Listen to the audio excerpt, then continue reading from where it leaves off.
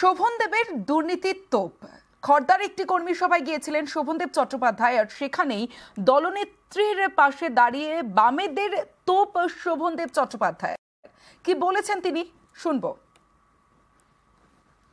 আরও একবার আপনাদের জানিয়ে রাখি, শোভনদেবের দুর্নীতির তোপ এবং খর্দায় একটি কর্মী সভায় গিয়ে এমনই মন্তব্য করেছেন তৃণমূল বিধায়কের মন্তব্য জানিয়ে ইতিমধ্যেই শোরগোল পড়ে গিয়েছে। শোভনদেব চট্টোপাধ্যায়ের দুর্নীতি তোপ, দলনেত্রীর পাশে দাঁড়িয়ে বামেদের তোপ, খর্দায় কর্মী সভায় মন্তব্য তৃণমূল বিধায়কের।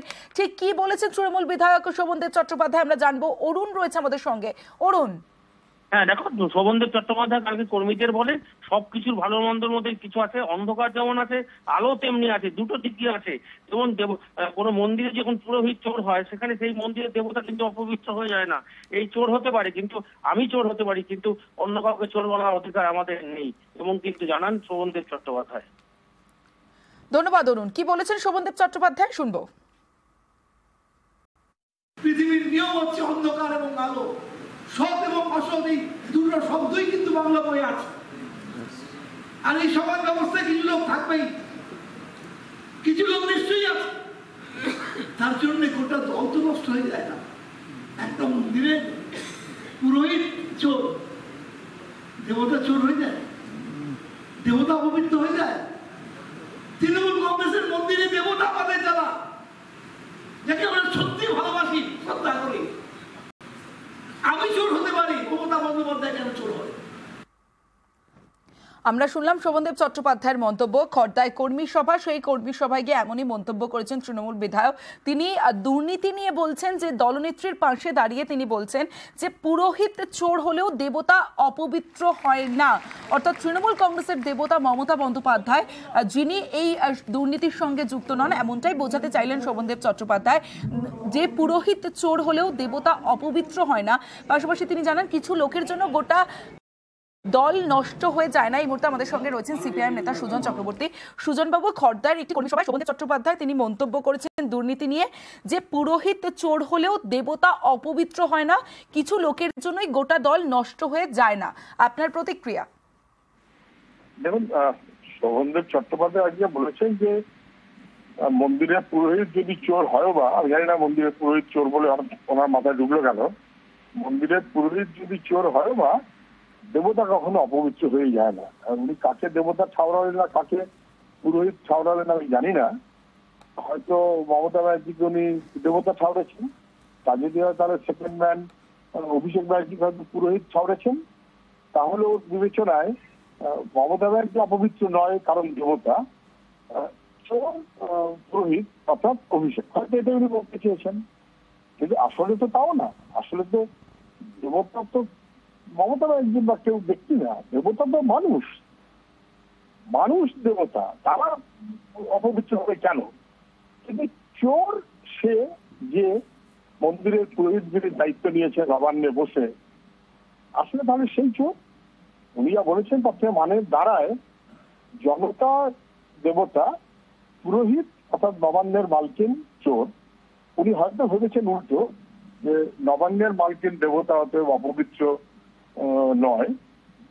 পুরোহিত সেকেন্ড ম্যান নিশ্চয়ই অভিষেককে ফাইন করতে চেয়েছেন সুজনবাবু আরও একটা বিষয় যে ওই কর্মী সভাতেই তৃণমূল বিধায়ক তাপস রায় একটি মন্তব্য করেছেন যে অন্য দলের বদমাইশরা নিজের পায়ের তলার মাটি শক্ত করতে তৃণমূলে ঢুকে পড়েছে। এটা দল আটকাতে পারেনি বলেই এমন আটকাতে পারেনি বলেই এই ধরনের ঘটনা ঘটছে এমনই একটা মন্তব্য করেছেন। কি বলবেন? তাপস রায় রাজনৈতিক কর্মী হিসেবেই আমি তাকে ধরে নেব। উনি আমাদের সমসাময়িক একটু বড় আন্দোলন করতেন ছাত্র পরিষদ। উনি রাজনীতির লোকগুলি আমি ধরে নেব। ওনার আক্ষেপ খুব অস্বাভাবিক নয়। উনি যা চারদিকে দেখছেন, তাতে ক্ষুব্ধ হওয়াটাই স্বাভাবিক, আক্ষেপ হওয়াটাই স্বাভাবিক। এবং সেই আক্ষেপের বহিঃপ্রকাশ হয়তো উনি করেছেন। ঠিকভাবে নিশ্চয়ই নয়, হয়তো বেঠিকভাবে করেছেন। খেয়াল করা উচিত ছিল যে অন্য দল থেকে এসে গন্ডল পাকিয়ে দিচ্ছে তাদের নিজেদের স্বার্থে তৃণমূল একটা এমন দল যেটাতে মালকিন একজন। তৃণমূল একটা এমন দল যেখানে মমতা ব্যানার্জির কথার বাইরে একটা ঘাস পাতা পর্যন্ত নড়ে না। একটা এমন দল যেখানে লক্ষাধিক পঞ্চায়েতের প্রার্থী ঠিক করার দায়িত্বটাও মমতা ব্যানার্জি। বীরপুর তিনি জেলা সভাপতি হবেন আর তিনি কোর কমিটি মেম্বার হবেন এই দায়িত্বটাও মমতা ব্যানার্জি। ফলে উনি জানেন না কোনো ঘটনা ঘটে যাচ্ছে তা হয় না। অন্য দল থেকে লোকে এসে গোটা দলটাকে মানে চোরে পরিণত করল, কি মাথাগুলোকে চোরে পরিণত করল। কালীঘাটে একটা বেড়া সম্পত্তি সব করে গেল। উনি কিছুই জানেন না, নাকি উনি সব জেনে শুনে প্রশ্রয় দিয়ে এই ধরনের ব্যবস্থাপনার মতন করেই একটা দল বানিয়েছেন, যার নাম তৃণমূল। বেশ, অনেক ধন্যবাদ আপনাকে। এই মুহূর্তে আমাদের সঙ্গে রয়েছেন বিজেপির সর্বভারতীয় সহ সভাপতি দিলীপ ঘোষ। দিলীপ বাবু একটি খর্দায় একটি কর্মী সভা হয়েছিল এবং সেই কর্মী সভায় তৃণমূল বিধায়ক তাপস রায় একটি মন্তব্য করেছেন যে অন্য দলের বদমাইশরা নিজের পায়ের তলার মাটি শক্ত করতে তৃণমূলে ঢুকে পড়েছে। আপনার প্রতিক্রিয়া? দেখুন, এখনও পর্যন্ত যাদেরকে পুলিশ সিবিআই ধরেছে বা যারা কোর্টে এফআইআর হয়েছে যাদের কাছ থেকে টাকা বা অবৈধ সম্পত্তি পাওয়া গেছে, তারা কেউ অন্য পার্টি থেকে আসা নয়। পার্থবাবু অন্য পার্টি থেকে আসা নয়, অনুব্রত মন্ডল নয়, তারপরে কুন্তল এবং কে কে যত নাম আছে মানিকবাবু এরা কিন্তু অন্য পার্টি কর্মী করেন। এরা টিএমসিরই কর্মী। তার নেতা এবং এরাই প্রকৃত টিএমসি। তাপস বাবুর মতো কিছু লোক, তারা তো কংগ্রেস থেকে এসছেন। তিনি ওখানে সংখ্যালঘু, তার মতো দু একজন লোক আছেন, হয়তো তারা এখনও সম্পূর্ণ টিএমসি হতে পারেননি। কিন্তু বাকি যে টিএমসি যেটা বেশিরভাগ জেলে আছে বা যাবে আর তাদের সঙ্গেই পার্টি আছে। তাপস বাবুর মতো লোকেদের সঙ্গে পার্টি নাই।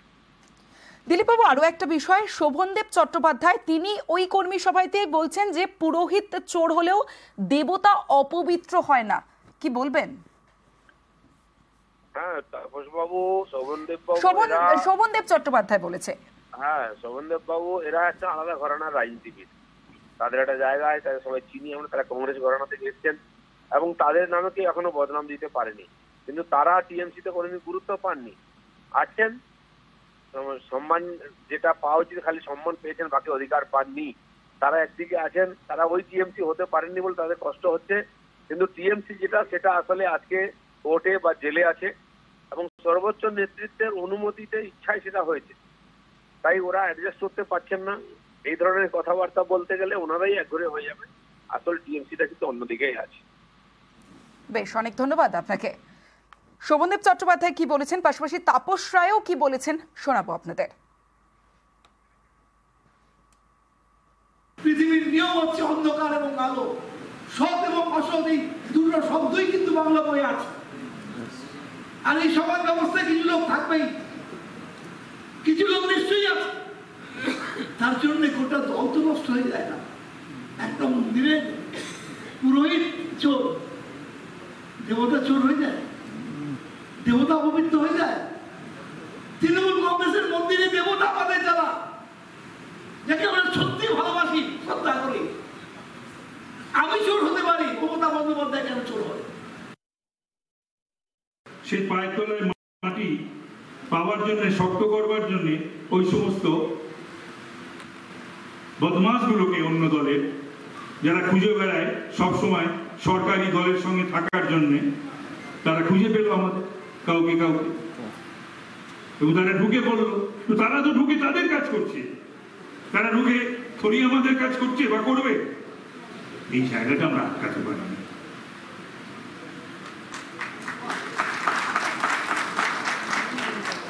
এই জায়গাটা যদি আমরা আটকাতে পারতাম, ন্যূনতম, তাহলে আজকে আমাদের এই পরিস্থিতি আমাদের দেখতে হতো।